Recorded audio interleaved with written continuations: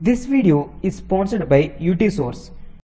This website gives many kinds of electronic components such as resistor, transistor, capacitor, inductors. It is also provides many electronic modules from China. It's a Chinese website and also a largest website to buy all types of electronic components and modules globally. And also they deliver their products all the world.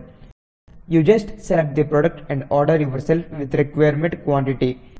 I have provided the link in the description below. Please check it once.